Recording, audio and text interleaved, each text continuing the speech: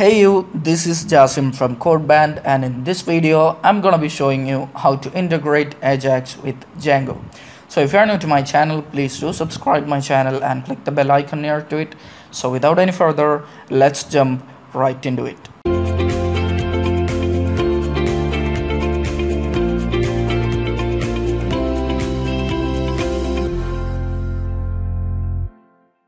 Alright guys, so I have created a simple Django project here uh, and an application named Pages uh, uh, which has the logic of, you know, uh, I'll just show you it in the browser. We have a, just a simple contact form in here and if I do some, uh, say some, you know, write some Blender data in here and if I do submit then you know it just uh, saves those, those data those objects into the database and just redirects to the same page itself. Now if I look into the Django administration panel I'll get that same object right in here.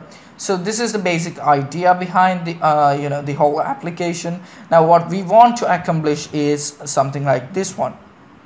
So if I type in some uh, uh, custom data in here like you know those blender data and click on submit then it says a JavaScript alert being in success message.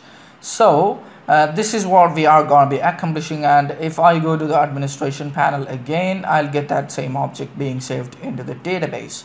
So uh, what we are going to be doing is in the project we have a model named contact uh, which has all those fields and a simple model form uh, contact model form I should say. And uh, in the views.py I have that uh, simple uh, logic. Uh, if, if it is post request then I'll just save those uh, that, that object into the database and just redirect to the same page itself. And I have set those corresponding URLs right in here so this is the whole uh, application structure. So what I wanted to do is you know in the contact.html by the way I'm using jQuery you know to uh, trigger the Ajax and uh, this one is the CDN is required. And I'm using uh, by the way bootstrap uh, for the styling and all and so does these scripts at the bottom so uh, the uh, logic I'm, I'm gonna do is in the form whenever I submit the form I'll just you know trigger an Ajax to the uh, to some URL and you know the server will uh, if the if the form is valid then the server will return some response and according to the response I will just send you know uh, those alert messages so I'll just add in a script right in here right the right at the bottom.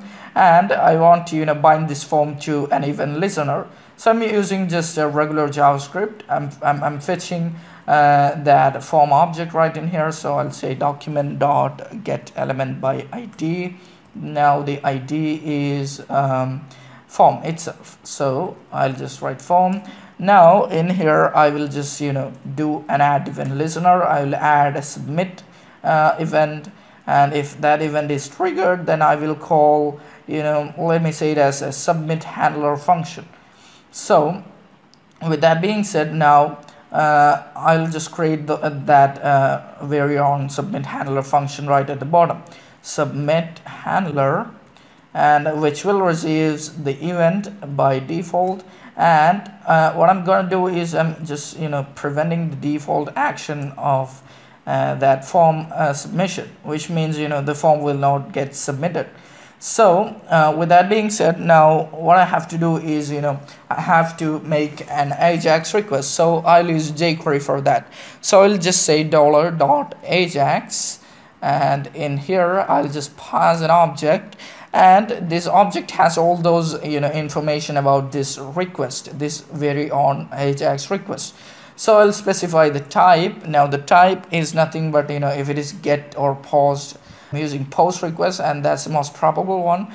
And um, then uh, the next one the next attribute is the URL uh, which means you know which URL to hit the post request so in here I will just say you know uh, we'll use the Django template syntax in here. I'll just say URL contact. Now this contact is nothing but you know uh, the, name of the URL. You know the, the only URL we have available for this one. And uh, that URL will be you know hit by this post request. Now the next one is you know the data. Okay the form data. We want the form data to you know uh, to be at the server side to uh, you know process those form data there in the server. So we'll, we need to send that data in this request in this ajax request. So the data being you know i'll use you know jquery right in here to fetch that form with an id of form. And i'll just you know uh, call a serialize method which you know which uh, takes in all those uh, data all those form data like we have you know uh, the name and email and message fields and you know it just you know uh, you know it just binds those data into you know uh, an understandable format by the server. So with that being said now the next one is the data type which is nothing but you know uh, the what type of data do we expect back from the server. So if you're sending you know uh, uh, some http response in the uh, views uh, if the form is valid or if you're sending some json data. So that's what is you know the data type itself. So i'll just say um, i'll send json data by the way. So i'll just say json. And with that being said now the last one i'm gonna do is you know the success attribute which is nothing but if the ajax request is success then what shall i do? So in this case what i have done is you know if you click the submit button then it will just you know alerts you know that uh, you know the uh, contact is successful or the uh, form is submitted. So just a plain alert. Now this success attribute will receive a function. Uh, so I'll just you know uh, write an anonymous function which will receive the you know the data from the server and I'll name you know it as MSG or probably I'll, I'll name it as data. So which means you know whatever we send from the uh, from the server will be right in this data uh, you know uh, attribute. So uh, or I should say the data argument. Now in here I'll just you know say if you know data dot msg now this data will be an object so I can access its properties using uh, msg uh, sorry using the dot operator and I will you know send those msg right in the server and you know you don't have to bother it now. If data.msg is equal to equal to success then uh, I shall say it as like you know I just want this to be wrapped in a parenthesis. And if it is success then I will just do a quick alert. Now this uh, uh, triple equal to is the issue there. Now I'll just alert that the form is submitted. Just a simple one. Now this is how about the logic in here. Now what I could possibly do is in in this one in the views uh, you know I will you know whenever I submit the form you know this function will catch that and you know it, it will send the ajax request right into this url uh, this uh, contact url which is this one. Now in here i'll just comment all the stuff in here and i will just say like you know if request dot we have a method built-in method known as you know uh, is ajax meaning if the request is of type ajax or if, if it is an ajax request then you know I can do pretty much the same thing except uh, the last redirect one. Uh, so I'll just uncomment these steps you know. If, if it is like uh, there's an issue right in here that is an indentation issue so I'll just you know indent all those stuff uh, correctly. Now which says if the request is Ajax then uh, you know I'll instantiate that form again with the, requested post you know again we are using a post request right in here. Uh, we have specified and those data will we are passing in uh, so we can get those data in the request or post attribute.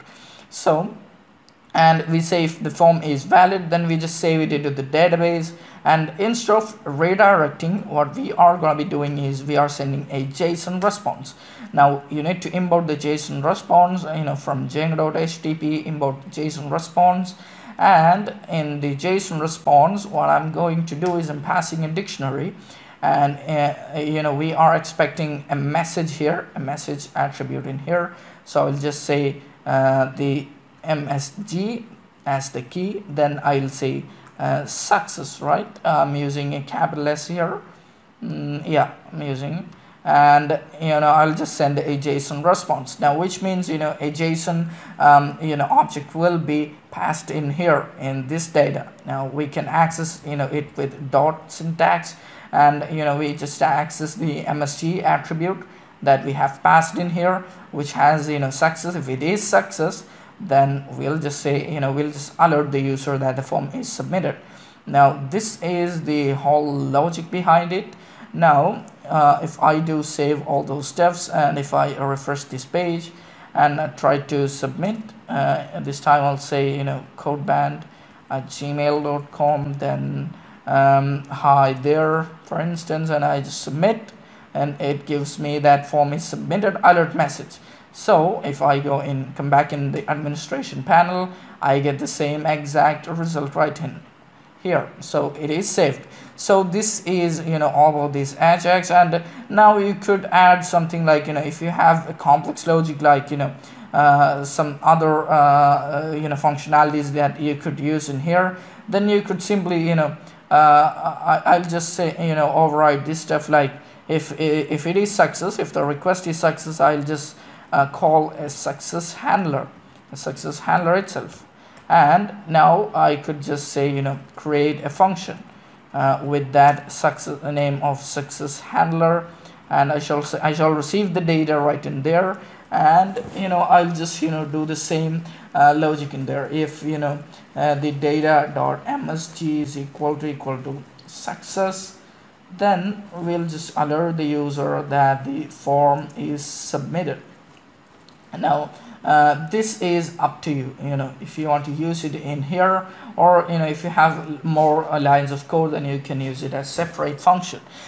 So with this being said now uh, this will work as regular. Now if I do submit the form again then uh, I will get yes the same thing again now one thing you note here is you know if we already submitted the form but you know it doesn't clears uh, these fields. So in order to do that I will just do you know um, in, in, in the uh, or I, I should say you know before the alert I will just you know uh, clear that form. Now that form is available right in here. So I will just say that a form dot reset. Now which will reset those fields right in there now if I do it again like um, some blender data and if I do submit the form uh, I got that submitted and those clear those fields are cleared. Now if I go in here in the uh, you know the administration panel I get those elements right in there. So this is all about you know handling Ajax or integrating Ajax with Django.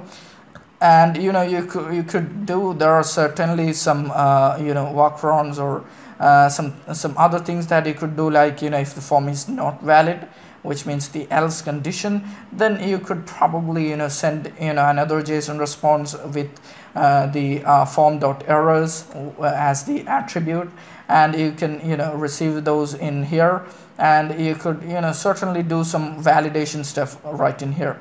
That's up to you you know if you want to do those steps now with that being said this is all about you know the video and if you have any doubts or if you uh, you know fall into some errors while doing this you know please let me know in the comment section and uh, that's it guys and uh, if you like the video please don't hesitate to you know uh, uh, hit the thumbs up button and if you haven't subscribed to my channel yet please do subscribe to my channel and click the bell icon near to it. So thank you for watching. We'll see you in the next one